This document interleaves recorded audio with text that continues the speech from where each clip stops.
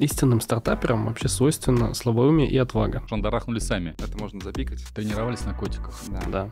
Много мемов на эту тему есть, картинок. Ты бежишь по лесу, за тобой погоня. Тебе, чтобы бежать, нужно крутить колесико мышки. Руки не взломали, в отдел не отвезли. По диплому я по факту гробовщик. Он такой юморной чувак, да? Мэ, масштабироваться. 0 рублей 0 копеек. 30 миллионов рублей. И Адидас на спину. Маркетологи хлопают стоя. Давайте прям воу-воу-воу, полетели, закипели.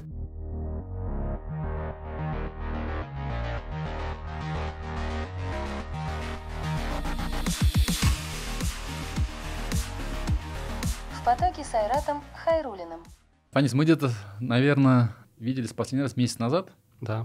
когда президент республики открывал новый IT-парк «Спартак», и ты выступал со своим проектом. И я хочу тебя процитировать Мгм. примерно Даже ту интересно. фразу, которую ты говорил перед, э, э, во время выступления перед президентом, мне очень интересно. Ты сказал так, Рустам Нургалеевич, меня зовут Фанис, я тут простой деревенский парень, который 15 лет назад Мгм. работал в колхозе Да. весовщиком и думал, как Да. будет строиться моя жизнь. И вот сегодня я выступаю перед вами и рассказываю про свой стартап, проект, который э, является одним из лидеров на российском рынке. Смирнов Александр. 31 год. Выпускник ПГТУ «Волготех». Дровосек, сооснователь и СЕО компании «Мувика». Садыков Фанис. 31 год. Выпускник КГФИ, ныне КФУ. Весовщик, сооснователь ИКУ компании «Мувика». Познакомились в 2013 году на образовательном форуме «Селигер». Да. И слушай, мне вот эта фраза очень сильно удивила. Расскажи, э, за каждым словом, мне кажется, кроется отдельно взятая история, начиная от того ж слова деревенский, Мгм. колхоз, Мгм. почему весовщиком, Мгм. и как ты вообще оказался в IT-бизнесе. Да. Я на самом деле сказал, что я завершал свой последний рабочий день. Да, да, да. А, Кстати, было важно, что это был последний да. рабочий день. И самое интересное, что это было как раз 30 августа, когда мы встречались с президентом в день открытия нового откры- IT-парка. А 30 августа я завершал свой последний рабочий день как раз а, весовщиком, да, действительно так. И мне нужно было уезжать уже учиться там, в школу. А где в ты был? в Ты в каком районе? 11 класс. Нурлатский район, деревня Степное озеро. А, и весь прикол в том, что ну, работа весовщика это ты целый день сидишь в будке и ждешь, пока там к тебе приедет какой-то грузовик, и ты должен его измерить. И у тебя очень много времени там чем-нибудь заниматься. Ты читаешь книги, тогда нет таких телефонов, как сейчас, ты не можешь сидеть там, тратить время в Ютубе, ты бредишь. А я президенту и сказал, я бредил о том, какое будущее меня ждет, и какие люди там будут меня окружать. А, и, ну, действительно так совпало, что а, вот ровно 15 лет, и какие люди меня окружают. Такие, как Саша, такие, как вы. А, и эти люди мне помогли а, как бы стать тем, кем я стал. Сколько тебе было в то время лет? Это был 10 класс. То есть это не выдуманная история, что Нет, это последний не рабочий день, не и ты выдуман. думал о своем будущем. То есть Не выдуманно, абсолютно, да, действительно, это 10 класс. Я, я не понимал, кем я стану. Я не шел в IT. То есть после, после института, там, ой, после школы я не пошел в IT. Я пошел в КГФИ, финансовый наш институт, а, и закончил как раз-таки финансовый институт. И так совпало, что э, в 2013 году, э, после уже того, как я закончил, я поехал на форум Селигер, на форум предпринимательства. Я уже тогда горел идеей, что мне не хочется работать. Я, во-первых, всю студенческую жизнь проработал э, в Татэнерго, э, работал в отделе закупок, а, и я понимал, что такое там корпорации, компании, они внутри. Я как бы вот эту школу а, прошел и сделал прям последний курс, я помню, сказал себе, что вот я не хочу такую жизнь, я не хочу работать в компании и строить карьеру именно в компании. И пошел на форум предпринимательства Селигер, там м, а, ты предприниматель вроде так назывался, и познакомился с Сашей. Вот. на А, Селигере, на получается. Селигере, да, мы спали в соседних палатках. Тогда я, конечно, предпринимателем не стал. Я не стал там, как не начал бизнес. Я а, после того, как уволился с Татэнерго, разочаровался в том, что, в том, что, ну, блин, этот путь такой сложный, я не могу, не готов. Пошел уже, устроился в IT-компанию, уже начал работать в Барс-группе. А, но потом, когда как раз-таки уже вот этот первый мой порыв, когда я хочу стать пред- предпринимателем, э, и первое, куда я попал, какие люди меня начали окружать, позволили мне уже пос- пост- постепенно уже начать заниматься тем, теми проектами, которыми сейчас мы занимаемся. Александр, расскажи, заход на твою палатку. Говорит, меня зовут Фанис. Как это? Короче, будучи весовщиком, он все правильно взвесил. Как мы, можем- как мы все поняли, он взвешивать умеет. А ты в то время чем занимался, будучи в Селигере? Как ты туда попал? Будучи в Селигере, я уже был айтишником. А, Я закончил 10 класс, 11 с полной уверенностью и осознанием того, где я себя вижу и что я хочу делать. Вот такая вот уникальная история о том, я закончил 11 класс с мыслью, я хочу делать игры. Я много играл в игры, типа, если бы я не стал айтишником, я бы точно стал киберспортсменом, потому что 10 тысяч часов наиграно было. Это причина, почему у меня всегда были тройки, вот. Но не по профильным предметам, типа математика, физика, там оно все. Точно науки шли хорошо. Вот, а, собственно, я сказал, я хочу делать игры. Логичный вопрос, а где тебя учат делать игры в 2008 Такой, ну, наверняка, кто делает игры? Наверняка делают игры программисты. Пойду на программиста. Ну, благо, опять же, все сдал хорошо. И поступил на такую достаточно жесткую специальность. Ам, программирование, что-то вычислительной техники, автоматизированных систем. Как-то так звучало. ПС. А вуз какой? А, вуз ПГТУ, это Ишкарала, я родом из Ишкаралы. Казалось бы, да, Ишкарала, программирование, но там на самом деле 2008 год. 2008 Да. год, да, какие-то, как будто рандомные какие-то понятия откуда-то взяты.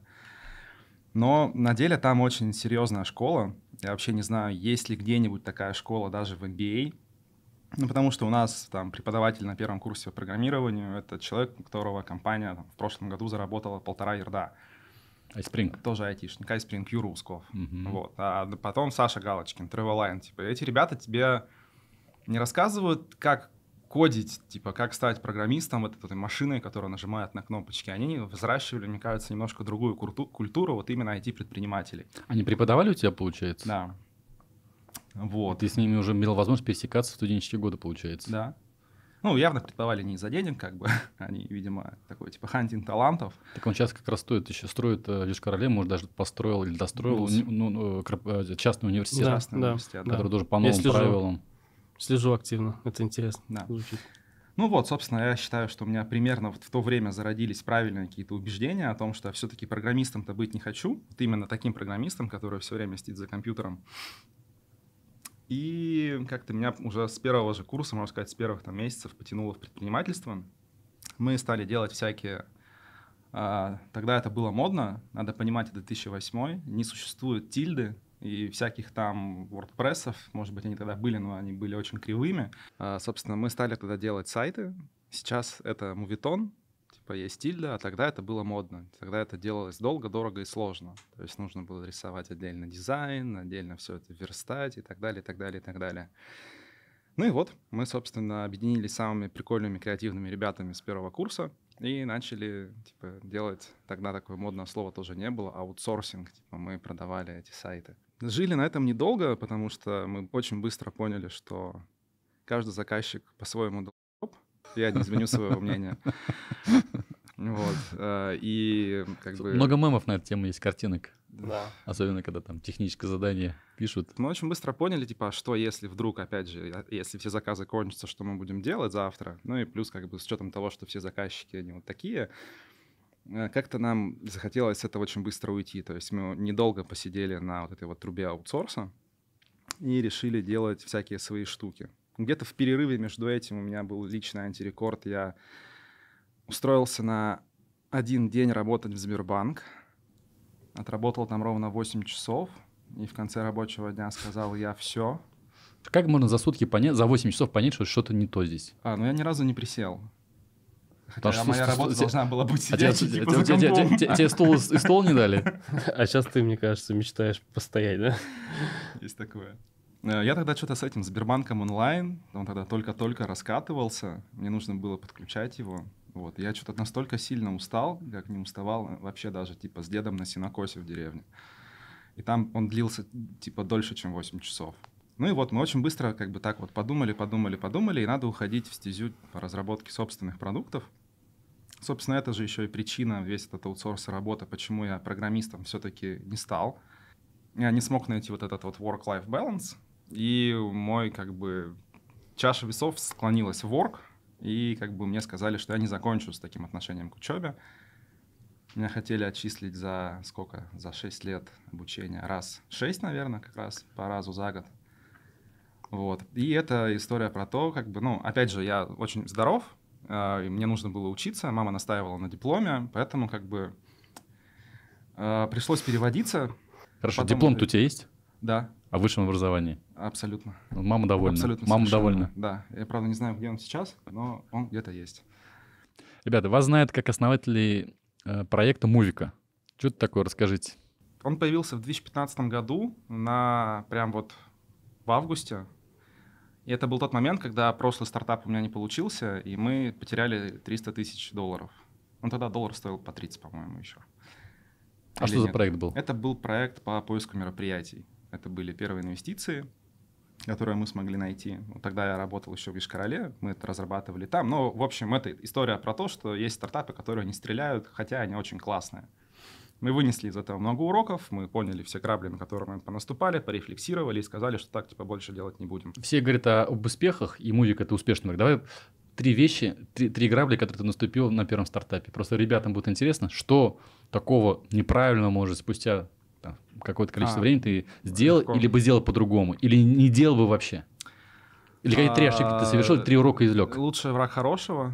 Э, Мы увлекались очень сильно фичерингом и пытались выточить приложение. Там трижды делали редизайн, меняли иконки, все время пытались закодить его прям таким вот, чтобы э, богам им было удобно пользоваться. Ну вот. А, При этом очень сильно забывая про эм, продажи. А у тебя как бы есть определенный burn rate, который у тебя рано или поздно подойдет к нулю, как бы, да, и вот ты имеешь как бы с одной стороны типа офигенный продукт, который выточен просто, не знаю, как какая-нибудь статуя, а с другой стороны как бы продаж-то особо нет, как бы, а команда, команду надо чем-то кормить. Ну, в общем, лучше враг хорошего. А, продажи first, а, потому что приложение было именно таким. Вот. И Это третье... какой-то B2C-шный рынок, да? Ну, там и B2B, и B2C. Третий, наверное, урок это такой, что, ну, типа вообще не ждать, никого не слушать и запускать продукт как можно раньше, даже если он максимально сырой. Мы очень сильно тогда увлекались разработкой. Ну вот, а этот проект не удался, нужно было что-то делать, что-то делать дальше. В найм, опять же, уходить не То хотелось. есть не удался в каком плане? То есть вы точили, условно говоря, делали его лучшим из лучших, Да. получили инвестиции, инвестиции закончились, новый раунд инвестиций не привлекли, продаж нет, ну, собственно, корм- команду кормить нечем, да, и все Да. как бы. Да, но здесь вообще на самом деле, ну, я считаю, большая наша победа, что тогда мы решили полноценно отказаться от этого А проекта. ты тоже там был? Да. А, А, еще в то время, ну, как- как раз- как у вас раз таки- другие были проекты. Как раз Ну- таки мы в Селигере познакомились, и как Саша, когда... А, Саш, Фанис, ты чем занимаешься? Я, Мы тогда блин, уже делали этот продукт, находясь в Ишкарале.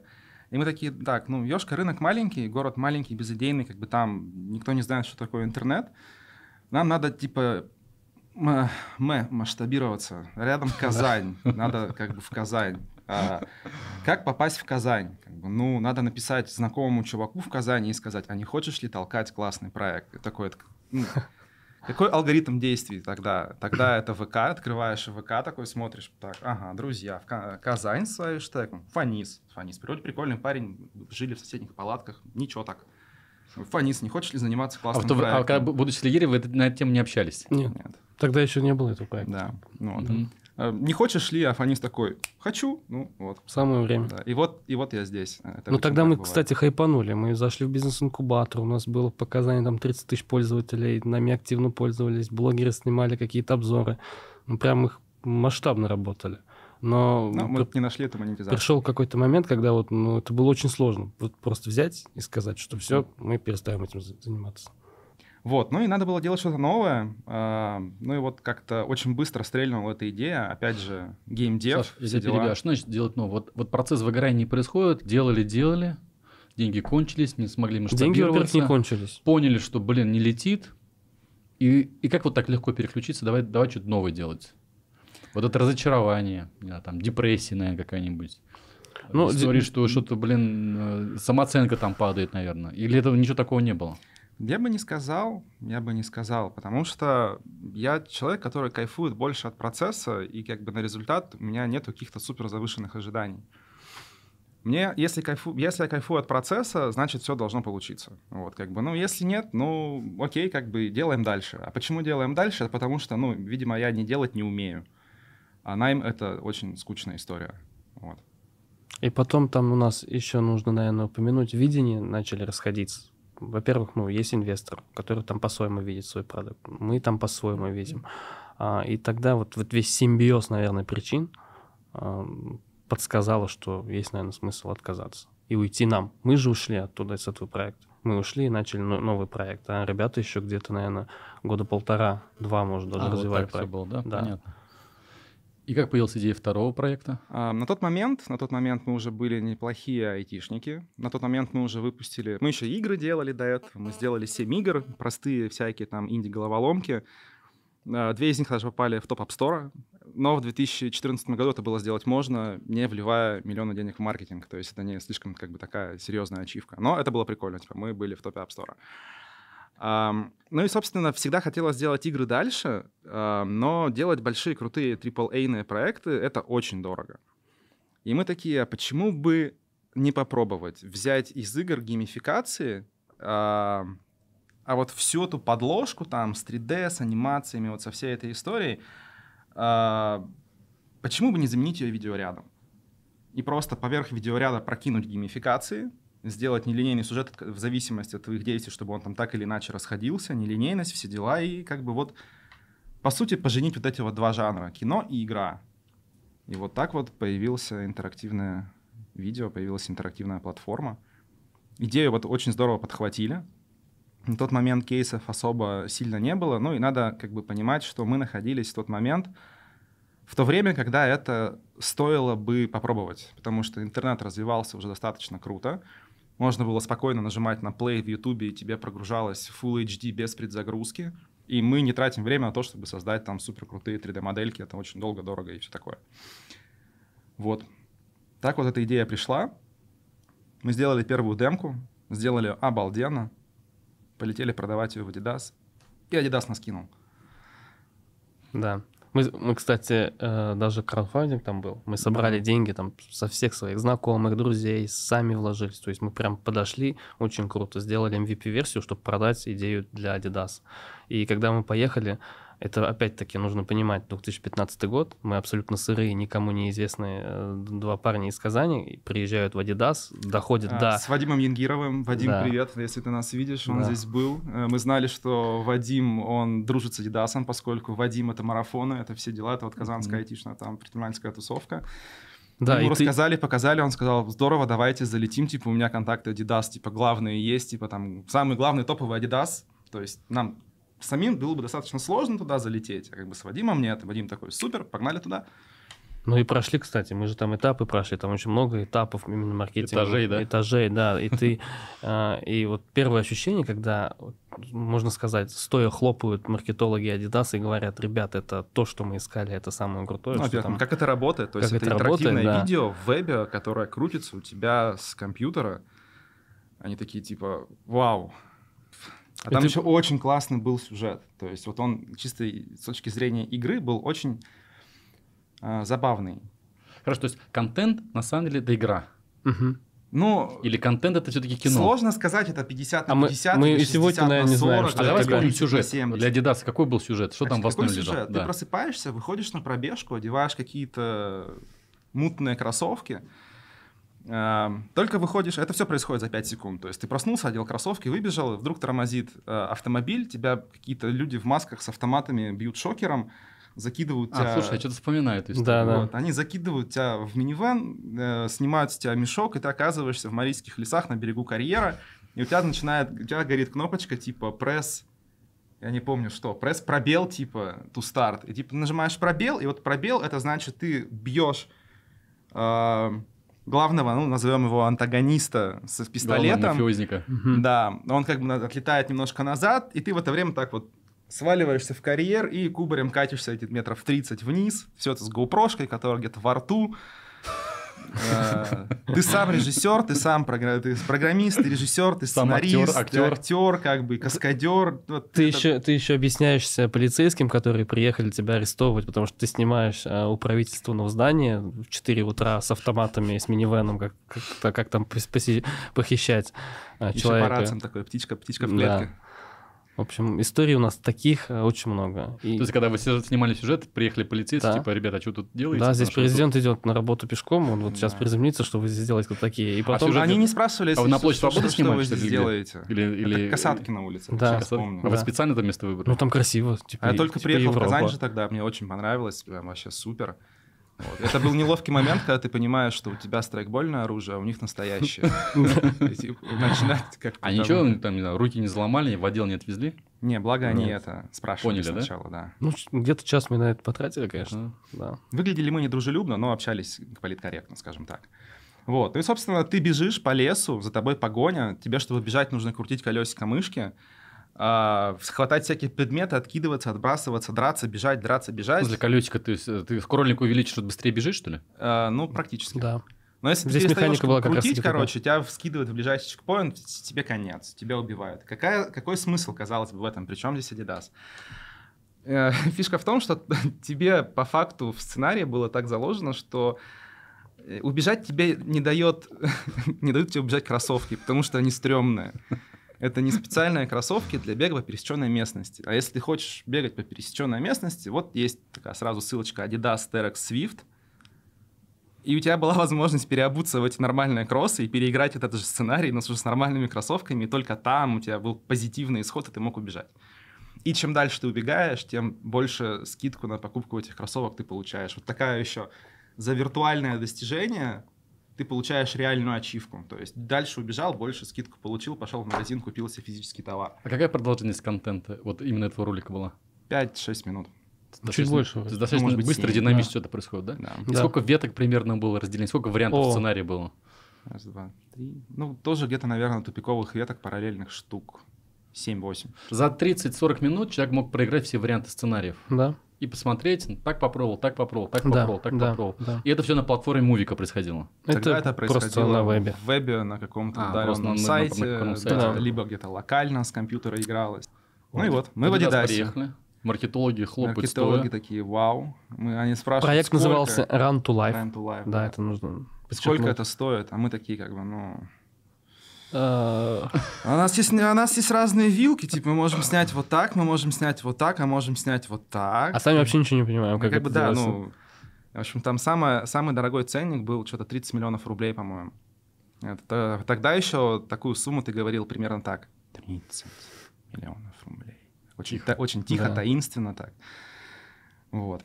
Они сказали, о, окей, супер, здорово, раскатаем на весь мир, короче, переводите все, сейчас мы вам делаем кол с немцами, все, давайте прям, воу-воу-воу, полетели, закипели. Я этот город даже не выговорю. Ты помнишь этот город? На Х начинается. Да, на его начинается. У них, у, них, у них там штаб-квартира была, и ты с ними переписывался на немецком. Это тоже довольно интересный опыт. Не скажу, как он называется, да, но, но точно на Х. Но прикол в том, что мы тогда вообще, вот ребята, которые ничего не знают, они нам, а расскажите это, расскажите это. И мы все такие расскажем. А отправьте нам вот этот кусок кода. Ну, Да, посмотрим. дем- дем- демочку А демочку выложите, вот, да. Ну, и мы вообще просто все предоставили, вообще даже не думаем, там ждем. Ну, общение же идет, где-то уже полгода идет. Мы все. А потом они готовимся. такие раз и... И тишина. Да, по- есть такое слово, типа заморозились. Вот. И зима настала у нас, и они заморозились. Я Не- немцам зиму как-то плохо. И мы как такового отказа не получили. И я помню этот день, 2017 что ли уже год, мы с Сашей возвращаемся с Екатеринбурга, нам отказали в визах в США, потому что мы уже плани... мы уже там проект уже дальше пошел, мы продвинулись много, но возвращались в поезде. Я помню этот поезд, прям как он из Душамбе, там вообще просто воняет, пахнет, настроения нет, нам отказали. Консервированные люди, которые в этом поезде Да. консервировались до тебя еще недельку, и от запаха пота там съедает глаза. И мы, я открываю висиру, и там Adidas выпустил Scroll to Life. Вот именно Scroll. А, вот так, to- да. to life. То есть не просто вы это, а они взяли и шандарахнули сами. Да, и Вадим вроде ты даже нам отправил. Да. Но это был классный опыт. Классный опыт именно. Вот каждый наш шаг, который там мы делали, мы, наверное, делали выводы. И на самом деле, кстати, команда немножко подрастроилась. Типа, вот нас скопировали, сделали очень похожую механику. Но когда ты приходишь и говоришь, типа, ребят, на самом деле это здорово. Если твое решение копирует Adidas, то, ну, наверное, вы просто, ну, мы идем правильным вектором. То есть, и как минимум мы их обгоняем на несколько лет. Это здорово. Что дальше было после Adidas? Как, как вообще развитие проекта происходило? Потом мы, мы обошли за эти два года, получается, всех, кого в Казани просто можно было обойти. Вот, вот просто всех. Мы общались там со всякими инвесторами из Лаоса, которые особо экономические зоны держат. Мы общались с бандитами, мы общались там со всякими КАМАЗами. Вот, вот у кого просто там возможно побыть, мы у всех побыли. И вот в этот период как раз мы для Иннополиса сделали супер классный проект, который позволил там э, маркетинговую кампанию запустить э, ну, с целью привлечения абитуриентов новых. Ну, вот это классическая история. Типа мы параллельно рейзим, но параллельно нужно что-то жить, и как угу. бы ты идешь на работу, да, бы там а у меня еще, а у меня еще работа такая была классная. Я ездил там по всей России и привлекал классные, крутые компании. Там, например, Redmond Robot я привлек в Иннополис. И я напрямую выходил с ними, общался, и параллельно, ну, тоже у меня была возможность относительно там, своего проекта общаться. А, и вот в этот промежуток времени мы познакомились ну, с нашим... Давай, мы, мы сделали классный коммерческий кейс для Иннополиса. Ага. То есть это было уже интерактивное видео не то, за которое забашлял ты сам, да. свои деньги снял, показываешь кому-то эти презентации, а это был уже проект, когда тебе за него заплатили. Uh, вынес ты с него денег ровно ноль, потому что ты заплатил в команде, актерам за пост, за музыку, за спецэффекты, за еще и свои деньги, за еду работали, еще да? и за свои, и свои деньги там потратил, да. даже ну это больше инвестиции, наверное. Вот, ну как бы ты сработал по факту в ноль, но ты получил классный коммерческий кейс, потому что эту штуку затиражировали, то есть очень кру- ну, круто запушили на рынок. Мы не испытали хабра эффекта, когда это запустили на хабр и нас не положили, то есть мы сделали это все классно. А, я много дней не спал перед релизом, приезжала Россия, снимала мои глаза с мешками вот такими вот, которые прямо вот под глазами закинутые на плечи. В общем, классный кейс. Это то, что нам не хватало. И охват был крутой, аудитория восприняла тепло. Сказали, вау, тут здорово, круто. И мы такие, ну все, на фоне классного кейса сейчас-то мы точно нарейзим. Вот прям вот, ну, стопудово. И кто да? поверил, кто проинвестировал, кто был первый? А мы потом э, решили уже начать просто продавать. Мы, э, во-первых, не просто привлекали инвестиции, мы продавали такой ну, подобный кейс. Давайте там мы уже начали продавать. А давай там КАМАЗу продадим там Adidas, ой, Иннополису смогли продать, давай КАМАЗу, давай другим. И вот так а, как-то мы дошли до компании Fix, и нам удалось прям в первый же день, в первую же встречу, я там написал в Телеграме, просто на сайте нашел э, контакт, написал помощнице, написал в Телеграме, ты помощница, она мне ответила и говорит, через час приезжайте. Пишу, Саш, через час у нас встреча с, там, с потенциальным клиентом. С Димой Еремеевым, да? Да. А, мы едем... Дима, привет. Да, приветствуем, Дима. А, едем, и сидим такие, какие мы крутые, мы рассказываем, какие мы классные, какие мы прям делаем супер крутое, да, вообще просто там охват, понятия вау. не имеем, какой, ну, кто такой, вот, ну, каких масштабов человек, Дима.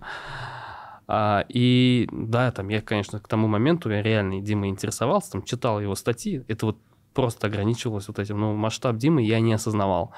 А Дима 80% времени в телефоне, 20% времени нас там слушает или, может, даже мимо ушей.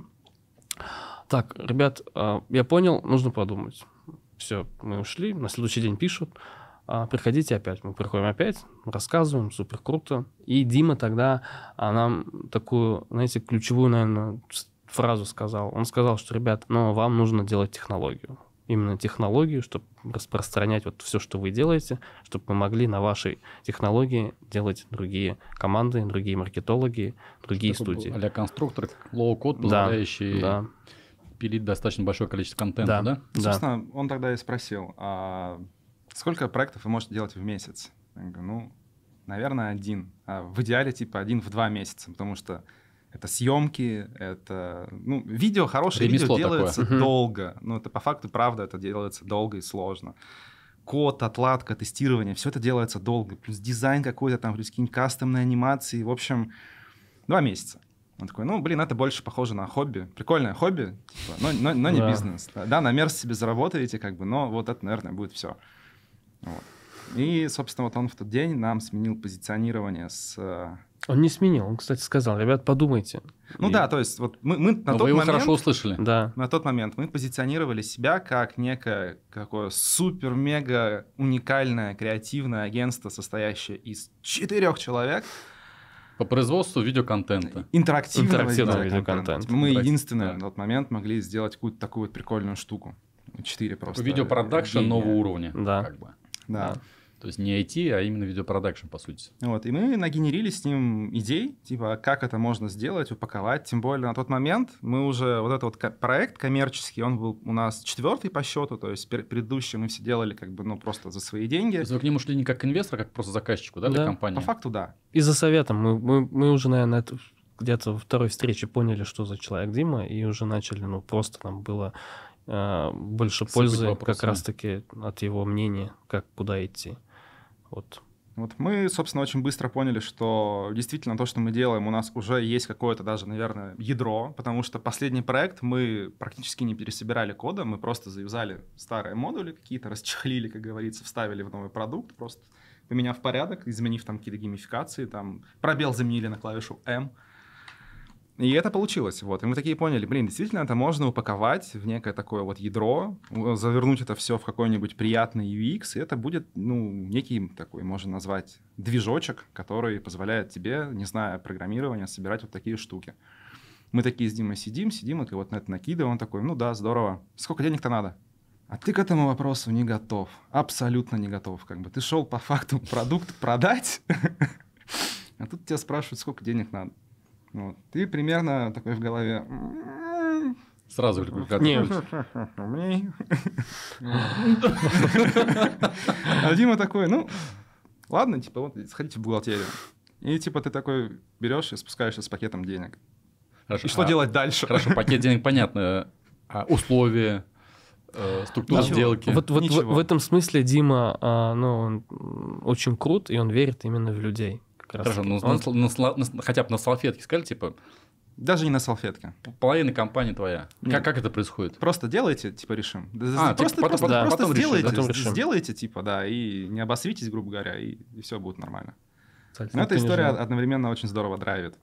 Ну Вот. Естественно, как бы потом ты начинаешь понимать, что ты ошибся с оценкой очень сильно, не на там, не чуть-чуть, там, не в два раза, а на порядок. Потому что ну, оценить вот этот, на тот момент, когда тебя четыре человека, и что тебе нужно вот то, что ты сделал, завернуть в платформу, этого, ну, это была оценка ровно, вот, как говорится, пальцем в небо. Но мы стали делать. Ну, сколько Собственно. этих денег на какой период хватило? На год, на полгода? А мы тогда, знаете, какое решение приняли? Мы э, решили вообще продемонстрировать возможности там, потенциальной платформы, которую можно разработать. И мы начали снимать тогда проект уже большой. Проект называется, назывался Uncovered. Мы решили прям полноценно снять интерактивный боевик, который посмотрят все.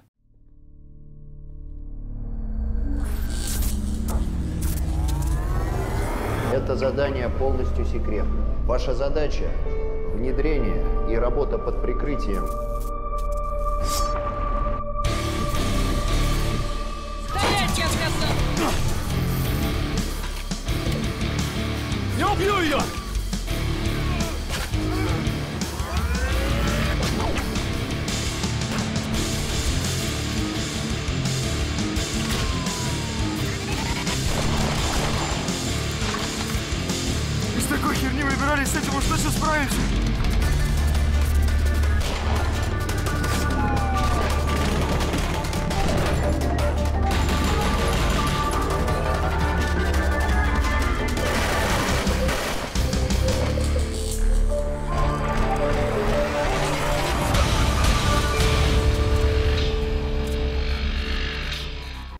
Показательный тайп. Показательный, да. Посмотрите, как, как можно. Как можно? А, И нам нужен был кейс там не а-ля Иннополис, где там посмотрели 10 тысяч человек, а нужен был кейс, а, где ну, который распространится и покажет, и расскажет про нас на всю Россию, где есть абсолютно все методы взаимодействия с контентом. Вот. То есть Там можно было управлять контентом даже с гироскопом. С телефончиком вот так вот типа делаешь, и ты так или иначе, ты по факту ты там нес боеголовку в руках. Вот опять Ты слаб- гироскопишь вот так. Опять- Если ты завалил его, то он типа бомбу роняет и типа гамовер. Все. Опять вот слабоумие и отвага, мы э, решили, а что фильм снять? Это, это вообще ничего Да. не стоит. Мы снимем. Весовщик, Да, гробовщик, да. снять интерактивное кино. Ну, Вообще у нас тут 100 всё человек команда, вперед, полетели. Дороги перекроем, машины возьмем сейчас, пули, поехали, купим калаш, купим патронов, давайте устроим веселуху. Делаем взрывы, оттуда будет человек гореть, а здесь давайте, там, не знаю, звезду смерти, она будет стрелять вот так вот. И самое удивительное, мы сделали, и мы сделали вообще замечательный продукт, классный продукт. Я сейчас вспом- вспоминаю и ну, не могу осознать, как нам удалось собрать там команду 100-120 человек и организовать такие масштабные съемки и вот все это дело сделать. По факту это был интерактивный боевик. Вот кто играл в, кол- в колду, типа Call of Duty, Battlefield, вот эта история, это фильм, в котором можно умереть, в котором можно стрелять, в котором можно, типа, вот выбегает террорист, ты на него тыкаешь пальчиком и такой та-та-та-та в него стреляю. А если нет, как бы он в тебя стреляет. И этот фильм, в котором ты такой смотришь фильм, а вроде играешь, и бах, ты умер. Ладно, пойдем на чекпоинт, вернемся назад. Снова, снова и снова. И там были очень классные механики. Тут э, ключевое, что мы из этого, наверное, вынесли, это мы перешли на следующий этап развития. А мы тогда, уже после этого проекта, э, привлекли наши первые инвестиции от Сергея Солонина, от, уже вторые инвестиции, Киви, да? получается, да, от, от Киви банка. И начали полноценно э, разрабатывать как раз-таки платформу для создания интерактивных видеороликов. Можно я расскажу про одну геймификацию? Давай. Там Саша была просто одна- фанат наших методов Чувствую. вза- Там просто взаимодействия. да. это, э, ну, это, это конгениальная была штука. В один момент, в один момент тебе нужно было угнать машину А, по да, это- сюжету. Ты угоняешь машину. А, Ты еще не знаешь, что там, как бы, ну, по сюжету там был Непонятно почему. Мы любим GTA, вот эту сцену, когда машину тормозишь, водителя выкидываешь, типа, и садишься в машину и уезжаешь. Такая пасхалка GTA. Вот. Собственно, мы поймали красную Теслу, выкинули водителя, сели в нее и поехали. Типа, Мы там по сюжету торопимся, и нас э, сбоку так подъезжает э, полиция, э, ДПС, нас типа с маячками. Договорились с полицией, они нам автомобиль, да. предоставили Это, это по автомобиль. сюжету. Да, да. Типа красный автомобиль, там прижмитесь вправо. В общем, автомобили прижались, э, выходит э, инспектор. Он представляется, вы, говорит, нарушили, вот. Э, предъявите документы. Понятное дело, что у- у водителя ни документов, ничего нет, он еще как бы такой пытается понять, типа, а что как. И у тебя есть две кнопки в этот момент. Типа, что делать? Первая — это сагриться на него. Вторая кнопка была «извиниться». В общем, у тебя были две, две линии поведения, как бы быть э, агрессивным и как бы пыта- пытаться сгладить эту вину. Если ты сглаживаешь эту вину, то все окей. Он говорит, ну ладно, типа, в следующий раз не нарушайте. Вот, в общем, все, все хорошо. Вижу, что вы не пьяный. Но э, если ты начинаешь на него агриться, то он выписывает тебе штраф. И это была очень интересная штука, что поскольку ты играешь через приложение, ты в нем авторизован, мы знаем немножечко о тебе, мы знаем твою почту, которая привязана. В этот момент, когда тебе выписали в игре штраф, тебе приходит, э, ну, типа, псевдореальный штраф на твою почту со временем, когда ты играешь, с текущим, типа, время фиксации, камера, номер. Ну, то есть просто вот берешь обычный штраф, Полная имитация. да. полностью имитирующий. Люди- Фотография, черно-белое, направление. Даже квитанция съемки. такая же, как... Квитанция, как тогда текст. Ну, там единственное был текст другой, типа, это элементы интерактивного фильма Uncover, Мгм. типа, это была донатная форма, типа, если тебе нравится такая фигня, донать. Такой вау-эффект, прям, чтобы Да. совсем в дофаминовую систему. Да. И люди даже Зрители. платили. Даже люди Это, платили. это, это классная штука была. В общем, тут Да. как бы мы пробиваем вот эту вот четвертую стену, когда ты не просто смотришь кино и играешь, а когда оно тебе что-то, что-то из вот этого виртуального мира Мгм. залетает тебе в реальный, и ты еще взаимодействуешь с этим здесь. Вот. Что сегодня мувика сегодня из себя представляет? Сама платформа, пользователи, контент? Ну, в целом, это, в целом, вот, если говорить, что такое мувика, это технологии для сферы интерактивного видео. Это создание, монетизация, экспорт и распространение. Ну, кто, кто ваши клиенты? То есть кто сегодня?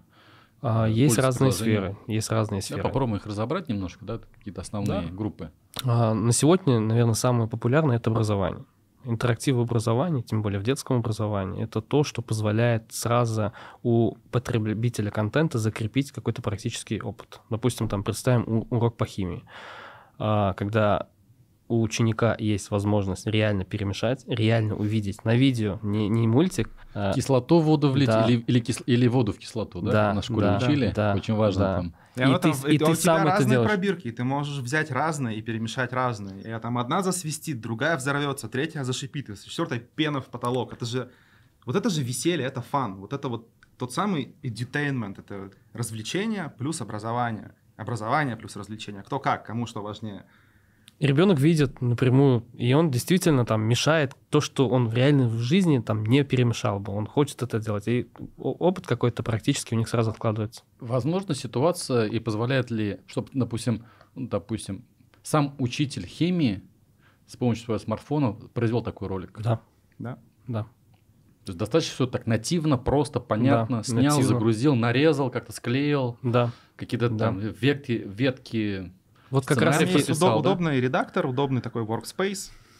Накидал он графический, очень похож на любое дерево, м, граф, типа накидал, задают связал. вопрос там, почему... понимаю, смартфон? что, условно, я как родитель тоже могу сесть, придумать контент для Да. своего ребенка, для того, чтобы он просто интерактивно научился, может правильно переходить дорогу. Да, Сам факт, что э, ну, любой обычный пользователь может контент, по сути, под- создавать под свои как бы, видение того, чему хочет кого-то научить, да? да, да. И вот нам задают вопрос, ну, интерактивное видео там многие производят, много кто делает интерактивное видео, типа там Netflix делает и другие компании, но вот существенно, чем мы отличаемся, так это тем, что у нас код открытый, и мы позволяем это другим создавать. То есть наши, как наши решения позволяют любому, там вы заходите, создаете и экспортируете куда угодно, и потребляете как Хорошо. угодно. А могу я как пользователь зайти и смотреть другой чужой контент, который тот для меня придумал? Да. Да, да. Ну, То есть эм, это можно назвать такой э, таким сложным словом у нас экосистема продуктов для интерактивного видео. То есть есть продукт, в котором ты можешь создавать без привязки к какому-то конкретному типу. Это может быть реклама, это может быть сериал, это может быть кино, это может быть образовательный ролик. Без разницы. Есть инструмент, который позволяет создать. Есть э, инструмент, который позволяет экспортнуть и встроить куда угодно. Там, не на YouTube, но типа вот куда-нибудь там в свои сайты, в Почему не на YouTube? Ну, потому что нужно, А, чтобы YouTube, YouTube закрытый. А YouTube не дает такую возможность. То есть у, Да. него, у него таких сервисов нет, да? Нет. У них есть... А куда э, можно залить на какую-то открытую видеоплатформу? А, и Как- Видеоплатформа интегрирует наш SDK, и все, за буквально там, А из, полчаса, из- и из оно действующих играется. какие можно назвать? Какие знаете? Куда можно? А, Ну, смотрите, это всегда индивидуальный случай. То есть- По факту любая. Вот берем, берем любой онлайн-кинотеатр, они интегрируют нашу SDK-шку, и Мгм. интерактивное видео у них готово за полчаса. А соцсети, например? Соцсети, Соцсети. мы как раз сейчас видим на эту Вот я, допустим, работу. на ВК залью, и на ВК хочу как бы я, я верю, что как раз-таки до конца год, года мы реализуем этот функционал. Так, первая сфера — это образование. Еще что, кто такая вот из больших, крупных как бы... Реклама. Реклама, да. Вообще, тут как бы надо просто понять, что э, по факту интерактивное видео — это обычное видео, просто сверху с геймификацией. Возникает логичный вопрос, как бы, как- за- зачем мы Смотрим обычное видео. Да, типа, зачем? А затем, что а, интерактив, он дает тебе вовлечение. То есть это штука, которая тебя не отпускает, она дает тебе ра- разные прикольные как бы, штуки, которые тебя вовлекают в сюжет дальше, дальше, дальше и дальше. То есть мы тебя держим до конца. Ты досмотрел до конца и такой, блин, прикольно, а что было вот в той ветке на пятой минуте? Хочу переиграть. А что, если я вот добавлю не эту штуку, а вот эту? А что, если я, например, этого полицейского, типа, буду вести себя не агрессивно, а позитивно? И наоборот. То есть вот тебе фан, тебе интересно. Ты возвращаешься назад, переигрываешь, и у тебя гораздо больше касаний с одним и тем же контентом. То есть у тебя усваиваемость, если мы говорим про образование, у тебя вовлеченность, как бы, и ты как ты просто даже время сессии, там, тайм, таймспенд твоего видео гораздо больше. Если ты рекламируешь товар, то твой пользователь его увидит не один раз, а там 27 раз и запомнит его. Ну, Вещи. здесь, здесь, наверное, нужно сказать, что э, вся суть в том, что мы э, очень активно экспериментируем там, в разных сферах, где это применимо. Да, основное для нас там сейчас приносит, основной наш интерес это в индустрии образования, фильмы, маркетинг, вот в этом направлении. Но так как UGC направление сейчас прям крайне э, актуально и претерпевает определенные изменения, UGC мы тоже взяли в орбиту, и там тоже сейчас проводим прям масштабные эксперименты. Мы выпустили мобильное приложение, можно сказать, TikTok, где у тебя есть возможность интерактивно создавать контент. Прям как с телефона, вот вы назвали, прям с телефона можно скачать мобильное приложение, создать. И, И- и, и запилить. залить на другую платформу. Да, у нас есть определен- Желание. определенные гипотезы, которые, ну, я надеюсь, они подтвердятся. Ну, нам, например, кажется, что не кажется, мы даже уже исследования определенные провели, они подтвердились, главное сейчас, чтобы на практике они подтвердились, что а, платные ветки Вот, например, у блогеров тема монетизации, она ну, крайне актуальна. Нет, давно не было новых методов монетизации контента, тем более, тем более блогерского контента. А вот даже вопрос для зрителей, может, могут ли быть платные ветки м, дополнительным источником, прям таким масштабным источником монетизации? Хороший пример это Прикольная как, идея. как Inap. Вот есть приложение мобильное, опять же берем игры, Мгм. поскольку мы чуваки из геймдева немножко, мы берем лучшие из этих сфер, типа кино и игры, и миксуем. Вот есть инапы. Приложение условно бесплатное, реализуется по модели фримиум, но в нем есть встроенные покупки. В какой-то момент времени играть тебе тяжело, и ты не можешь пройти этого босса никак. И тут возникает этот баннер, типа, за доллар, ну, чувак, ну купи меч, классный меч, убей этого босса, наконец. Ты покупаешь за доллар этот меч, рубишь этого босса, и такой счастливый играешь там неделю, пока тебе не придет новый босс, и тебе не предложат купить винтовку. То есть, как бы, я вот на этих вот инапочках немножко удерживаю. У нас может быть такой же инапчик внутри, ну, внутри не игры, а внутри видео. Может он быть ситуативным под каждый конкретный какой-то описанный, не знаю, сценарий. Спустя какое-то время вас заприметил Сбербанк. Да, да. А. Скажите, мы- как а- работать со, со Сбером вообще? Я Когда он- просто когда он в стал 2000 Sony, Sony-инвестором. Я просто в 2007 там отработал один день. Он на Они, карте. Моя- они да. запомнили тебя. Мое резюме там всплыло. Вот, они такие, блин, какой классный чувак у нас работал в 2008 Давай-ка мы его вернем. А еще увидели, что он пр- проект классный, айтишный делает, такие, звоните ему срочно.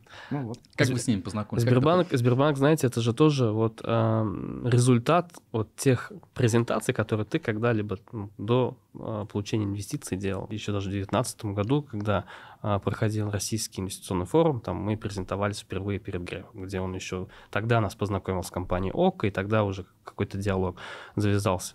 Но тогда он, это ни к чему не привело, но потом было второе касание уже у, ли- лично у Саши, где ему удалось там зажечь э, Гер- Германа Грефа как раз тема интерактива именно индустрии образования. И вот какие-то подобные касания там помогли нам дойти до Сбербанка. Ну, в любом случае, очень важно, то есть, э, добраться до первых лиц, Да. лиц, принимающих решения, потому что, И- тем более, особенно, когда большая корпорация, много этажей, там можно где-то болтаться, кому-то что-то доказывать, а при этом никакого эффекта нет. И у нас все-таки остатка. ну, очень крутые были уже тогда набор инвесторов. Это там Дима Еремеев, это Сергей Солонин, плюс с Бекмамбетовым мы активно э, там как бы он эдвайзерил наш проект. И вот таких имен, которые там некоторые даже перечислить не могу, их было ну, вокруг нашего проекта очень много. И ка- каждый человек говорит, там рекомендует тебя, подсказывает, э, и условно, если у них запрашивают мнение о вас, и они дают хороший фидбэк, нам это все позволяет делать нужные шаги. Ну, вначале я стал поздравлять, это сделка Мгм. с ВКонтакте. Да. Расскажите тоже эту историю. ВКонтакте выкупил ту часть, которую владел Сбербанк. Сбер, да. А во- вообще в ВК сейчас определенная стратегия именно там видеосервис развивать. И у нас, так как а, видеосервис, он м, работает э, в направлении новых технологий, новых возможностей для пользователей, а, мы видим, что обладая аудиторией, обладая ту- той заинтересованной аудиторией, которая там у них есть, мы можем свой потенциал полноценно раскрыть как раз-таки вот совместно с ними. И это была наша инициатива. Нам удалось а, зажечь тоже вот этой идеей а, ВКонтакте. И вот мы уже на этапе согласования как раз-таки вот этой стратегии, как, как все-таки мы будем вводить а, наши продукты в экосистему ВКонтакте. А Сбер просто сделал экзит, да? Да, Он окупил свои инвестиции с каким-то да. К, иксом. сожалению, к сожалению, там подробно говорить про а, условия сделки э, не сможем, но да, Сбер как бы вышел с экзитом, ничего не потеряли. Сколько сегодня компания стоит? По какой оценке? А, Это тоже больной вопрос, потому что был прошлый год, когда мы получили инвестиции, мы столько всего сделали, а, и оценка компании у нас исчислялась а, точно там миллиардами несколькими. А сегодня эта оценка, она а, однозначно ниже, потому что рынок сильно поменялся. Ну, даже сегодня, например, мы испытываем определенные проблемы с монетизацией наших решений, потому что зарубежный рынок и методы монетизации, они закрыты. И это на нас сильно сказалось. А оценку, ну, тоже не назову, к сожалению, тоже мы подписаны э, определенные NDA а, в условиях СВК, мы не можем озвучивать. на протяжении пяти лет размывалась ваше участие, ваша доля. Но вы Мгм. являетесь не только фаундеры, но вы еще и остаетесь акционерами, да, в Да, определенной степени? да. А, Большая часть, э, это сколько, 70% принадлежит ВКонтакте, да? Мгм. 87. 87%. Уже То сейчас, есть да. мажоритарный акционер, да? Да. И И остальное у нас. Легкая арифметика. Акиви Да, и Дима 13. Еремеев. Они вышли тоже А, еще на предыдущих этих этапах, А, да? Нет, Дима сейчас только вышел в моменте с ВК, а Сергей Солонин вышел уже на этапе с... Все довольны? Все довольны вышли, А вы да. сами довольны? Да, Да? да. Ну, опять-таки, все-таки оценка, которая была бы, наверное, год назад и которая сейчас могла бы быть, потому что мы за этот год а, очень большой шаг в развитии сделали. Мы расширили команду, у нас пошла выручка, у нас а, у нас технологии развились до такого уровня, что там, ну, например, представьте, каково это работать в Сбере, какой у тебя там уровень кибербезопасности будет, ну, какой он должен быть. И это все оценка. Какой уровень кода у тебя должен быть, какой уровень организованности у тебя должен быть. И вот этот этап сберовский, который мы прошли, он очень сильно нам помог как бы в оценке вырасти. И мы сегодня как команда до там определенных событий, наверное, надеялись на другую оценку, но даже с тем, что сейчас, это для нас, мне кажется, большой успех. Ну, Александр, судя по твоему запалу, как, и как ты пару раз сказал, что я не хочу быть программистом, от тебя от креатива еще прет. Да. Вот если ты раньше этот контент создавал своими руками и давал заказчикам, и ты творчески там максимально Сейчас то же самое делается. реализовывался, то ты- на чем сейчас ты, как вы распределяете роли? Вот Фанис и Александр, да? А, ну, э, говорится, я нанимаю, он увольняет. Э, Я добрый коп, он злой коп. Я пряник, а не скнут. На мне команда. На мне команда, на Сколько мне сейчас человек? Сколько компаний? э, Какой больше? 56. 56 человек. У нас есть в команде своя видеостудия, которая производит контент под наши нужды. Под, под нужный заказчик в том числе, да? Да, под нужды заказчика в том числе. А плюс а, остальные это разработка. Ну, к тому мы активно пользуемся там сторонними видеостудиями, там поэкспериментировать, повзаимодействовать со сторонними тоже для нас. Это Источник креатива, как ты его черпаешь? Вам Особенно когда вот эти квитанции, там еще. Это же, ну, мне, мне мне- интересна сама механика или технология. Я бы сказал, что где этот креатив, это, наверное, все-таки насмотренность. То есть И наигранность. насмотренность, наигранность, как бы это все про одно. Ну, какой у тебя, Вот. вот какое у тебя цифровое потребление? Вот насмотренность, ты где ее черпаешь? Читаешь, смотришь, Смотришь слушаешь, лучшие что? тайтлы, играешь в лучшие тайтлы, как бы смотришь за как бы, развитием рынка, что куда идет, какие технологии. Как бы. У нас есть одна сейчас игрушка, как бы направление с геймдевом мы не закрыли, то есть это One Love где-то, который вот под сердцем, а, где прям новый геймплей. То есть мы такие взяли и придумали новый геймплей. Положили туда нейронки и положили туда систему крафта, и вот такого не было до дня релиза этой игры. Потом будет, а пока нет. Когда это релиз состоится? Я думаю, в следующем году релизнем. Это вторая, второй наш проект, вторая компания. Да. И- Какие-то, может, подробности?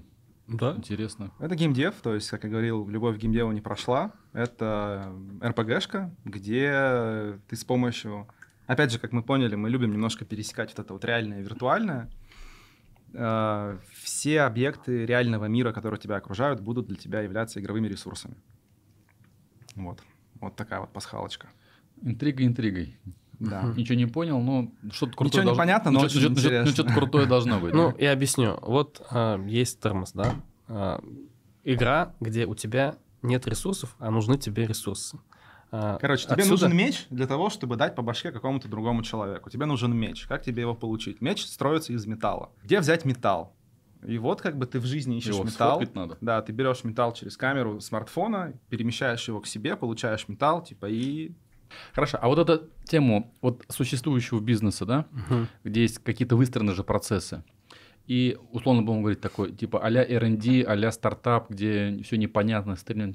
Эти команды у вас разделены, Да. разнесены, потому что тут же одна философия мышления, да, по Да. большому счету. Здесь как бы другая. И это в одном юрлице происходит? Нет, То есть вы как бы... А команды тоже распределенные, да? То есть да, это... абсолютно. Абсолютно разные команды, они даже не Я знакомы. так понимаю, вы на новом проекте сейчас, Саша, сконцентрированы именно на этих вопросах, да, с точки зрения вот этого нового геймплея, сеттинга. нового С- проекта? вот Сашу, наверное, просто можно характеризовать там одним словом. Это философия там вообще всей вот этой движухи. Вся философия — это Саша. А все, все остальное, Производство. производства, это вот я. Если... Вы такой хороший тандем Да. получился. Не могу не спросить про такой вопрос. Web 3.0, Play to Earn. Что вы вообще на эту тему думаете с точки зрения э, новой как бы экономики, построенной на крипте, особенно в области гейминга?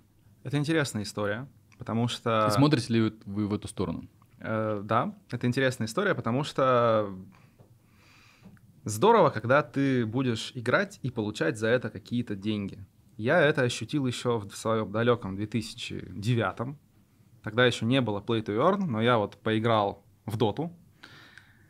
Э, Играл 10 тысяч часов, как профессиональный человек прям. И в какой-то момент времени на это дело ты забиваешь, и ты понимаешь, что у тебя остается куча игрового лута. Там всякие виртуальные шапки, виртуальные мечи, вот эти вот всякие штуки, которые не дают тебе никакого имбаланса в игре. Это чисто визуальные ништяки, которые ты можешь обвесить себе персонажа и ходить и говорить всем, вот я один такой. Ты берешь и его продаешь на торговой площадке, и люди его покупают. То есть вот я был, я продавал цифровые шмотки еще в далеком 2009 до того, когда это стало мейнстримом в Стиме. Вот. На удивление, тогда я продал что-то тысяч на 30, по-моему. Э, очень невыгодный обмен 10 тысяч часов жизни на 30 тысяч рублей на будущее. Да, сам факт, да? не играйте так много, но сам факт, да, прецедент.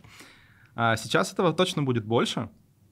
Э, Это интересно, когда ты играешь и так или иначе майнишь какую-нибудь себе монетку, которую потом можешь где-то обменять. Сейчас криптозима, э, сейчас, мне кажется, хорошее время для того, чтобы как раз-таки это делать. А, Сейчас время такое, что выбьет весь скам, который есть, ну или практически весь, если он... Если те, кто еще не закрылись с камеры, скажем так, скоро они закроются, вот. И это что самое аудитория будет благое более время. разборчивая, Да. более- будет внимательно смотреть к проектам. Да. Сейчас самое время это делать. Ты правильно говоришь, если это человек пена шелуха уйдет, но ты в, это, э, в эту индустрию веришь, да, что вот э, я почему спрашиваю, вот берем большие корпорации, которые AAA игры производят, м, они как будто в ту сторону не смотрят. Ну, Там, понятно, Epic Games и так далее, так далее. Steam сказал, что никаких, значит, э, криптовых игр ни на моей площадке не должно быть. Ну смотри, это гиганты. Это гиганты, которые Им это у которых нужно. куча регламентов. Как бы еще в 2000, наверное, 20 просто вот на продаже вот этих вот виртуальных шапок Гейб Ньюэлл зарабатывал миллионов 20 долларов в месяц просто вот на одной игре, на одном тайтле. А у него этих тайтлов там в стиме «Мама, не горюй». А С другой стороны, а, это же все пока находится где-то в такой... Оно и не в черной зоне, оно и не в белой, оно где-то вот в таком полумраке блуждает, и почти нигде в мире еще нормально не регулируется. Но как только, мне кажется, все скажут, супер, масс adoption, здорово, биток, отлично, я могу за биток купить себе кофе на улице, да, и транзакция прилетит супер быстро, и мне не нужно там будет ждать, пока это кофе не остынет.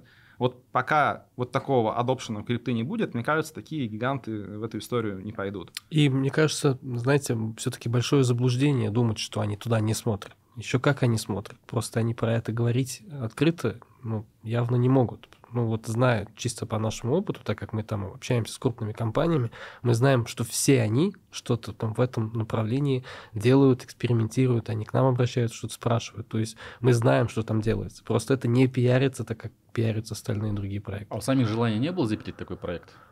Было, мы и делаем.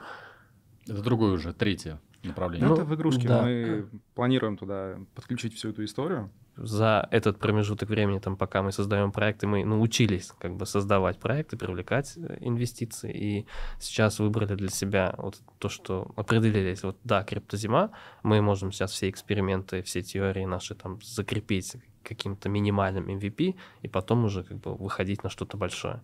И вот с этой логикой мы разрабатываем а, цифровых аватаров.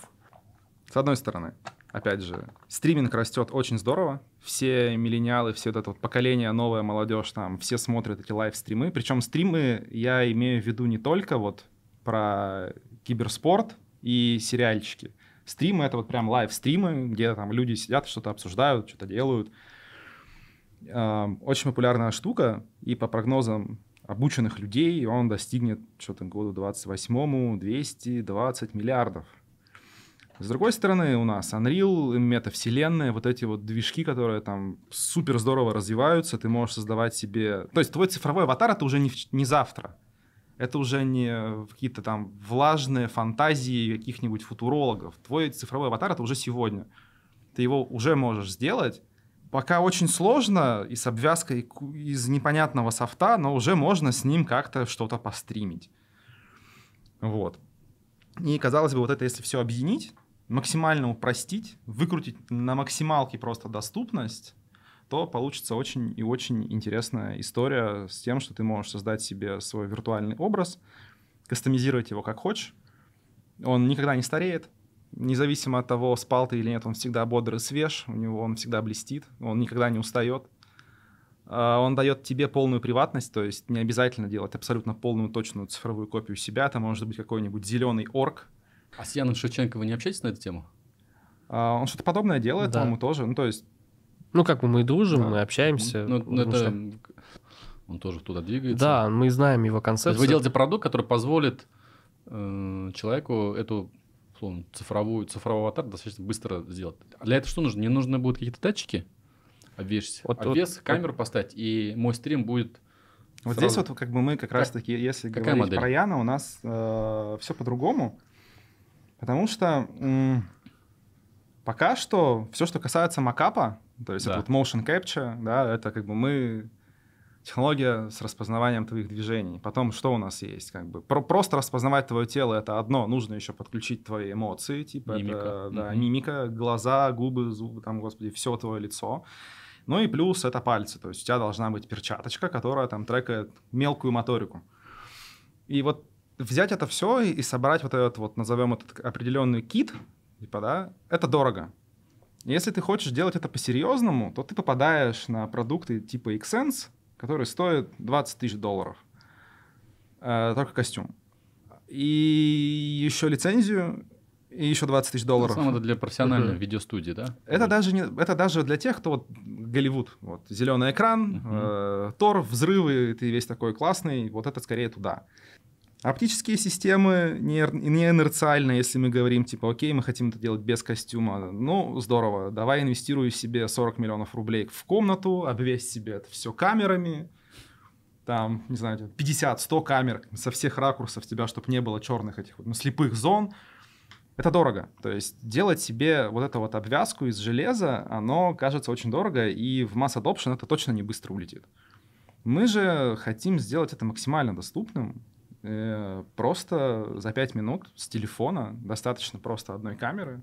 Ты вот так вот себя снимаешь, и все. Ты снимаешь себя вот так, а там ты уже цифровой аватар. Без костюма, без всего. То есть выкинуть за скобки вообще все не нужно. Здесь нужно, знаете, вот что понять. Стартап это что? Это как раз-таки поиск каких-то путей, которые там позволят тебе там, реализовать твою мечту. И здесь у нас а, как раз-таки есть определенные гипотезы, которые там сейчас требуют исследований. И назвать это там пока полноценным проектом, где ну, там десятки людей сидят и этим занимаются, ну, наверное, неправильно будет. А мы на сегодняшний день очень много как бы а, гипотез тестируем. Ну, теперь, смотри, имея такой достаточно классный опыт, такой во всех смыслах, идеи украли, Adidas, ну, в общем, можно целую книгу выпускать и уже сюжеты книги и понятия.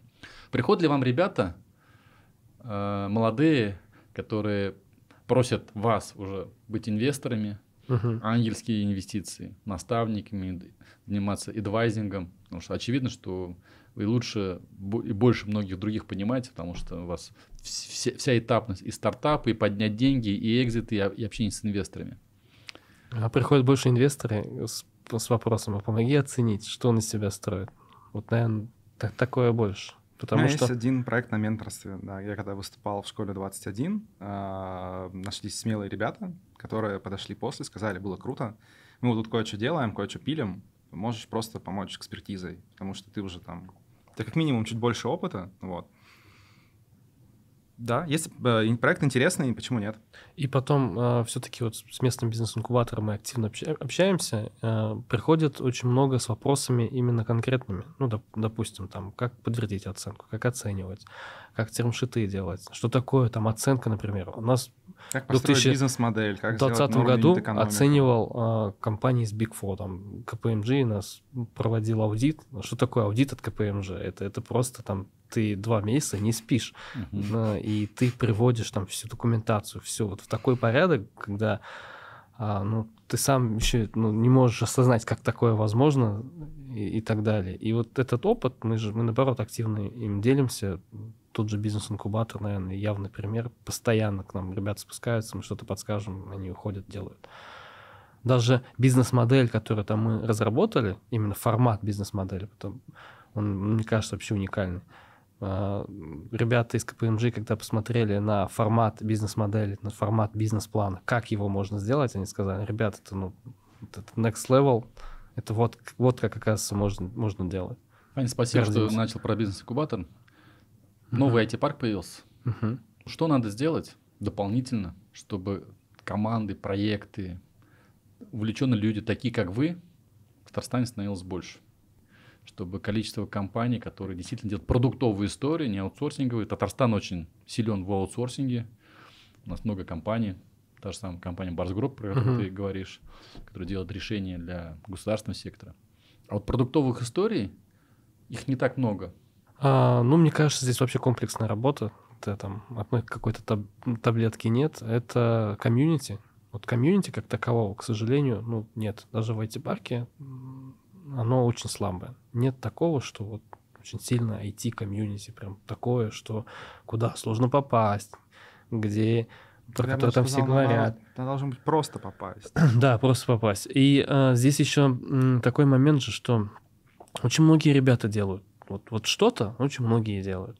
Но вот со стороны э, общества даже на тех, кто какую-то фигню делают, у нас какое мнение там у общества? Ну, у меня оно вот, например, вообще кардинально поменялось. Любой человек, который что-то делает, ну, ты, чувак, крутой, делай и так далее. А у нас какое отношение в основном у общества? Ну, ты дурак, лучше иди там поработай и так далее. А сколько ребят ну, не дошли, как мы, допустим. Сколько ребят там недополучили. Элементарно из-за того, что там не хватало какой-то поддержки. А очень многие сталкиваются с тем, что обходят, ну, не тех, обходят, ходят там вокруг своих друзей и так далее.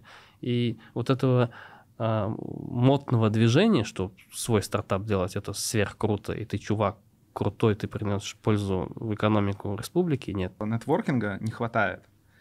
Smart Money — это не только про money. Smart Money — это вот в основном, на мой взгляд, нам здорово очень помог нетворкинг. Это вот, наверное, одно из самого ценного, uh-huh. даже, наверное, ценнее, чем деньги, вот в тот период, начиная с 15, с 15 по 20 год. Это очень здорово, когда ты можешь миновать какие-то итерации, опять же, вот по этой лесенке, доходя до нужных людей, когда тебе просто пишешь Диме и говоришь, Дим, вот ну очень нужен человек, а тебе он такой просто, ну напиши, скажи от меня. И все, как бы, и тебя там как минимум выслушают, и как максимум вы о чем-то договоритесь. Вот. А комьюнити такого очень не хватает, очень не хватает такого нетворкинга здесь. Ну и, наверное, немного улучшения инвест-климата, потому что есть реально классные ребята, они делают реально классные проекты, но на рейзить деньги они не могут. Ну, Фанис, ты вот как раз и говорил, что ты попал в бизнес-инкубатор, который находится в IT-парке. Угу. Какое он дал тебе преимущество? Что... Или что было бы, если этого бизнес-инкубатора, допустим, не было? Был ли от него какой-то реальный был. Реально польза. Был. Я думаю, Саша тоже подтвердит, потому что я Сашу из Ишкарла сюда вытащил, во-первых. А, и мы стали жить в бизнес-инкубаторе. А сейчас, сейчас просто, ну, я иногда поднимаюсь в бизнес-инкубатор, он пустой. Там понятие, что он там по вечерам, а, там кто-то сидит, ну, вообще, там мандарин может сидеть. Вот ребята из мандарина, они mm-hmm. сидят там и по ночам, и, и всегда. А вот в наше время мы получили место, где мы по факту могли круглосуточно работать и тестировать наши там все гипотезы. Мы колл-центр организовали, никто про это не знал, мы быстрый колл-центр организовали и оттуда просто шпарили на всю Казань. А, мы получили как бы а, опыт презентации. Там приезж... Вот сейчас я на это смотрю, презентации фигня, они вот ни к чему не приводят. Ну, вот серьезно, там смысл, ты со своим проектом там питчишься перед каким-то индусом, который приехал, ну, вообще из какой-то непонятной сферы. И вот опыт подобных презентаций, он тебя позволил как бы уже передвинуть на следующий этап. Прежде чем перейти к близ вопросу, у меня будет коротенький вопрос, ага. который, как правило, я каждому гостю задаю. Какой вопрос я не задал, но хотели, чтобы я задал? Вот это, это, это сильный вопрос. Я бы, наверное, даже сказал про вопрос а, Типа главная черта предпринимателя, наверное. Саш, главная черта предпринимателя. А, я на самом деле считаю, что вот Нет, есть такое выражение. Так, так. Главная черта Александра. Какая твоя главная черта? В чем твоя суперсила? Я, наверное, ошибок не боюсь. Вот это позволило мне двигаться вперед. И вот я лучшее, наверное, подтверждение того, что вот стреляет типа один из десяти стартапов. Вот Мувика — это юбилейный, это десятый. Вот как так совпало, не знаю. Но 9 попыток у меня были провальными. То есть я могу про свои неудачи рассказать в 9 раз больше, чем про свои успехи. Я не скажу, что дурак учится на своих ошибках, а умный на чужих. Я смотрел много умных людей и все равно ошибался.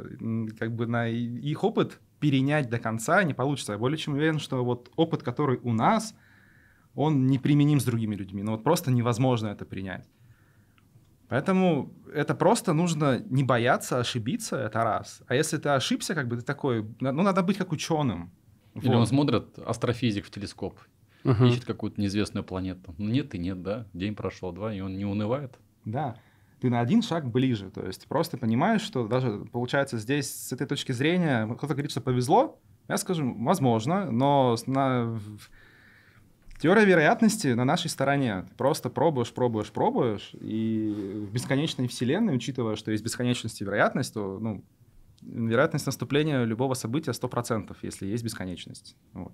Я бы добавил еще, наверное, про любовь к тому, что ты делаешь. Вообще, я иногда встречаю проекты, которые ну, делают проект, чтобы привлечь инвестиции.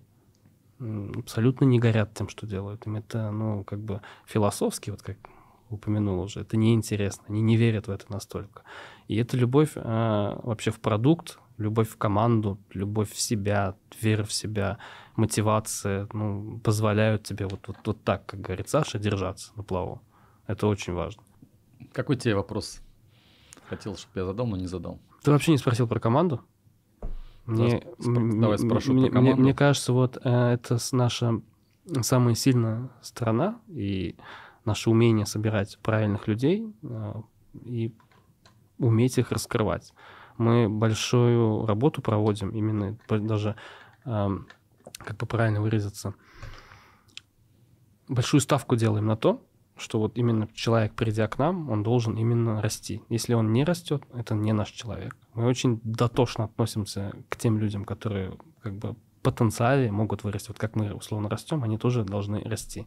Каждый человек, который к нам приходит, он впитывает через какое-то время вот эту философию, что у него должна быть э, сверх там высокая э, там, мотивация расти, и на команде это транслируется. Вот нам удалось собрать команду, которая реально тоже не боится ошибок.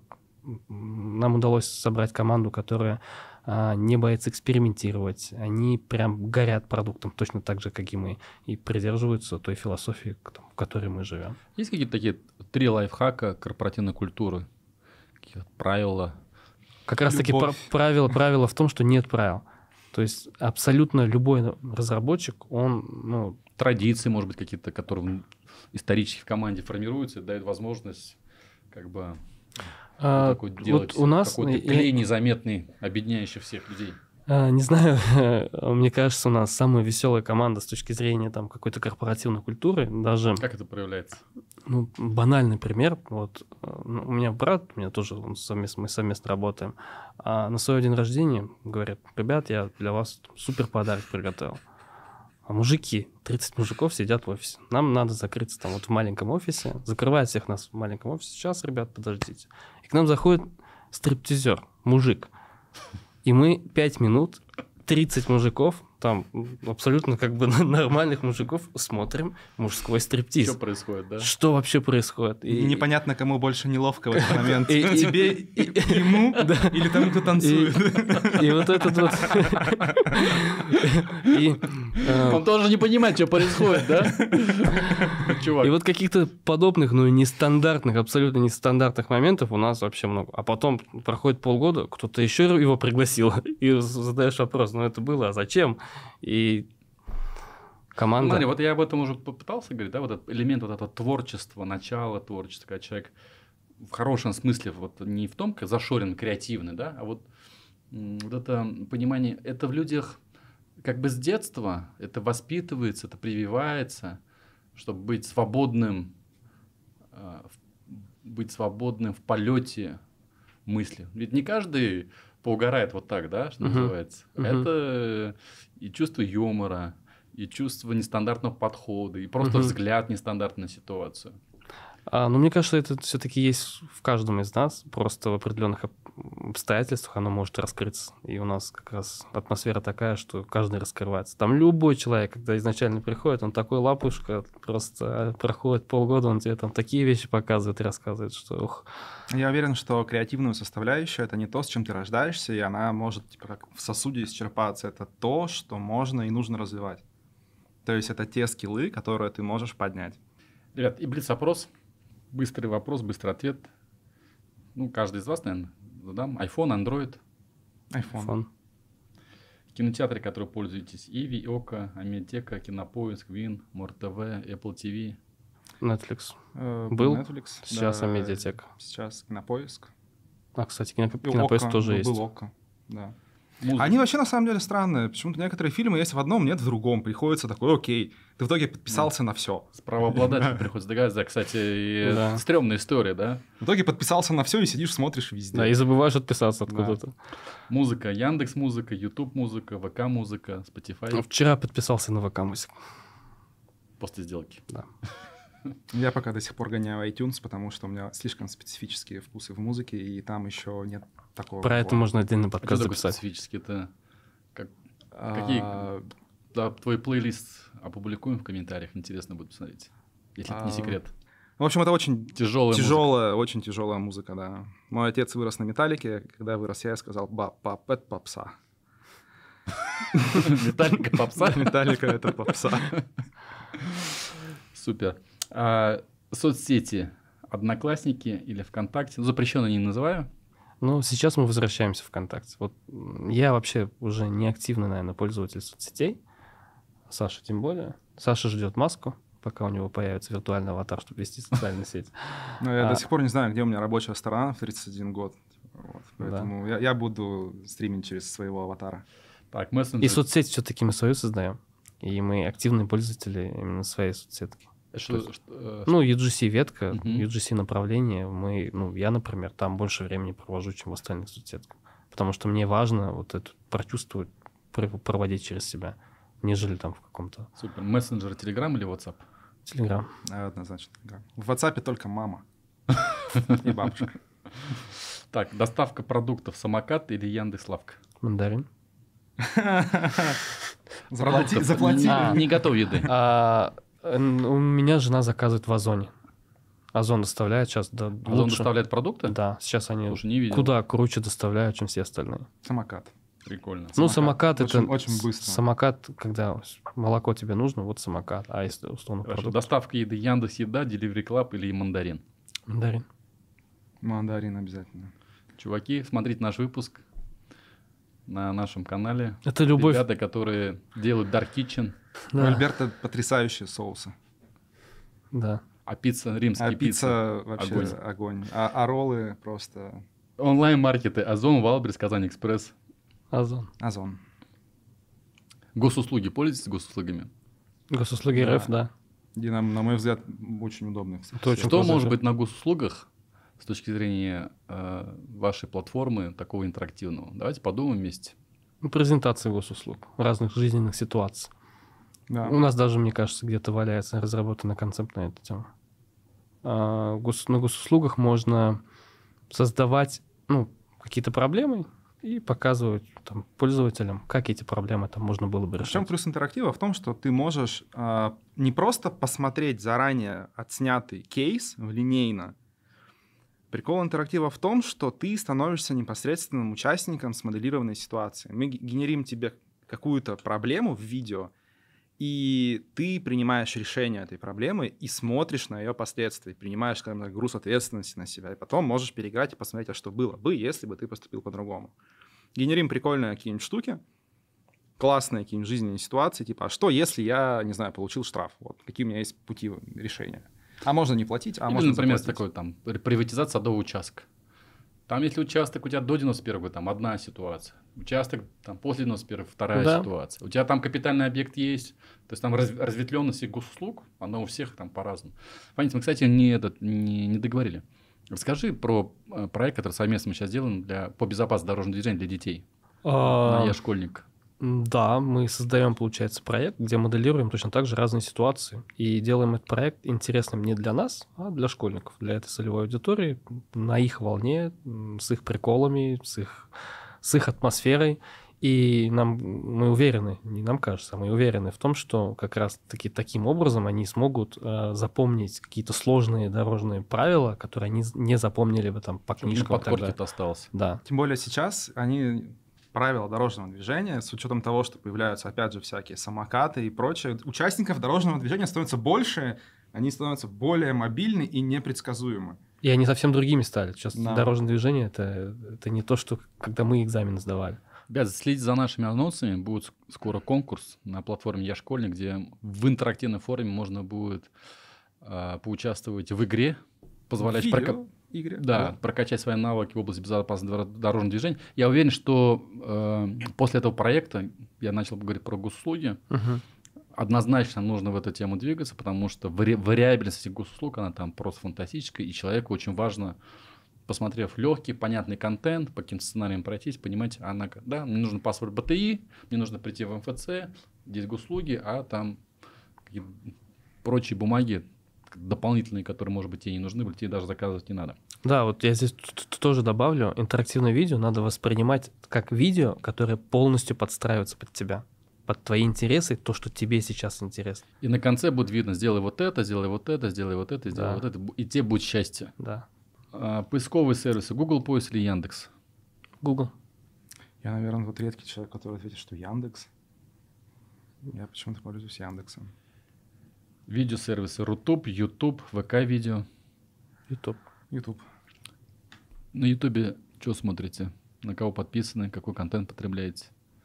Ой, и кто хочет креативности, кому нравится геймдев, а, обязательно смотрите Epic NPC Man. Это потрясающие ребята. Ссылочку оставим здесь. Epic NPC Man — это... э, у них видео длятся по 2-3 минуты, 4 минуты, очень ситуативные, очень легкие и очень понятные тем, кто любит геймдев. Ну и там что-нибудь типа Bad Comedian, наверное, и такой научпоп, типа Веритасиума. Тоже очень вообще прям лайк, репост, Да. подписка. Классно, я тоже подписан. Я смотрю, прям смотрю русский норм, а, и сейчас в последнее Русский норм. Русский норм, да. И сейчас в последнее время я подсел на музыку. Я слушаю там хижину музыканта, вот Раиль Арсланов, Мгм. наш местный. А другие подобные каналы, где я просто вот могу расслабиться. Именно на Ютубе. Да, именно на Ютубе. Мгм. Я, я вообще, например, фанатею. Я не знаю, последний год прошел там, у меня полностью там YouTube забит Раилем Арсланом. Я, ну, человек, который приходит вечером иногда, включает на 15 минут, я Раиль Арсланов. Супер. Ну, ребят, у нас по традиции гости приходят с заданием, Мгм. либо с вопросом, для того, чтобы наша аудитория могла поупражняться, чтобы мозговые извилины, значит, пошевелились. Ну и за самый лучший комментарий, или за самый лучший ответ, или за самую лучшую идею, я надеюсь, вы найдете возможность отблагодарить или подарить. Мы Эта пришли штука лежит здесь А, неспроста. уже лежит, да. Да, у нас есть вот такой вот. У нас офис, а, как подземелье дракона, полон разных артефактов. Вот, со съемок, не со съемок, с поездок. А, вот это вот одна из тех ручек, которая подписывала наши договора с э, Сбером и ВК. То есть у нас было много ручек, на много участников, как бы все... А ты еще сказал, на какую сумму Нет, подожди, примерно? Они прониклись этой атмосферой на большую сумму. Да, э, ну, эта ручка точно миллиарды подписала. Да, Точно. вот, это прям... Ее можно ставить в рамку и разбивать только по случаю подписания самых важных контрактов. Она точно приносит удачу. Вот. Она пропитана духом предпринимательства, авантюризма э, и много разных позитивных метафор. Вот. Но, собственно, задание, наверное, пускай будет А задание. не жалко расставаться? У нас их Вас две. А, У меня а, и у нас две. еще, да. Слушай, ну это такой самый, я даже сказал, не подарок, это такой На ней, если такой, видно, знаешь- единорожка. Это ручка с единорогом, то есть... артефакт, который точно, наверное, является, может быть, одним из ценных самых Вот. призов, которые я видел в этой студии. Ну, кроме этого, на самом деле, мы с удовольствием с этим человеком встретимся, поговорим. Да, Если порассуждаем. будет нам нужна какая-то там консультация, все такое, то вообще без Хотя я проблем. не люблю это слово. Вообще когда ужасное слово. Спрашивают консультация. Да, слово коуч Как- как- стало ругательным. Как это? М- э, Консультации ментор. в больницах, помните, Да. раньше были? Да. Вот, в А общем... в чем суть задания? а, Задание, наверное, пусть будет таким. Придумать какой-нибудь э, классный сетапчик э, интерактивного сериала, короткого. Мо- Можно просто пилотную серию, описать персонажей, кто они, что они, зачем. И в чем геймификация. То есть вот какая именно игровая составляющая в каких сценах. Можно просто концептом в один абзац мы, мы оценим, у нас есть классные креативные ребята. Ребят, Максима- максимально вирусный. Да. Суть- а если суть в том, понравится, мы еще это и снимем, и того, кто это прислал, еще и в Главной ролях роли. куда-нибудь, да. Ребята, обязательно в комментариях пишите. Очень классная идея. По вашим мотивам, вашим фантазиям, наверное, получится материал, контент, который будут смотреть миллионы людей по всему миру. Ну и самое главное, познакомиться с умными, креативными чуваками. Вполне возможно, кто-то вольется в вашу команду. Поэтому, Фанис, Александр, было очень прикольно. Мне понравилось. Вы угарные чуваки. Я думаю, что э, у вас в загашнике еще много-много веселых историй. Это оставим на потом. Поэтому желаю вам успехов уже с новым стратегом, чтобы сложилось так, как вы хотите. Ну и все вопросы, которые сейчас, сложности, которые возникли, они как раз и даны для того, чтобы вы еще стали сильнее, мудрее, креативнее, да, и уверен, что такая форма познания мира, когда ты вовлекаешься, она станет, наверное, может быть, очень важной в жизни каждого человека, когда человек выбирает, и право выбора у человека существует, и он как бы влияет на те процессы, которые И он всегда есть. Этот выбор всегда есть. Да, и выбор всегда есть. Спасибо. Да. Спасибо вам. Аминь. Да. Было приятно пообщаться. А, задание опускаем. Ну, на- самом Ну, деле мы думали нас- до этого принести просто патрон холостой. Да.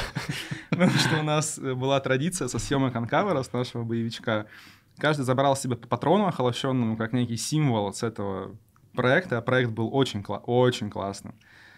Настолько классным, что эти патроны потом выстреливали еще после съемок. У нас одна девочка знакомая, которая положила его в куртку, потом сдала его в багаж и улетела с этим патроном в Грузию, а потом одела эту куртку и проходила через рамку в Грузии.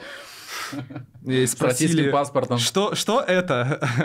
Да, что это до патрон, и, собственно, она не прилетела.